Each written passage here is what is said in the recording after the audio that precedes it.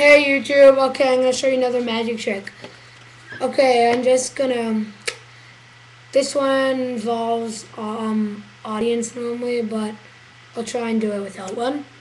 Okay, so take the first card, J of Spades, Jack of Spades, place it down there. Normally I'd place it in someone's hand, but there's no one, no one's hand is around. Take the other card, Jack of Clubs, place it down beside it. Then I shall take the Jack of Spades. See how I switched those two cards? Okay, here, I'll show you again if you didn't see that. Put, take, put back the Jack of Spades and take the Jack of Clubs, right? Well, act, wait, what two cards are here again? I forgot. Two Jacks, right?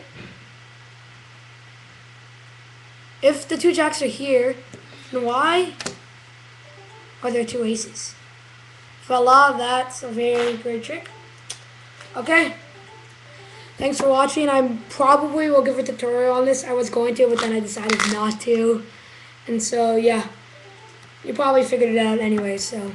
Okay, have fun with it. Bye.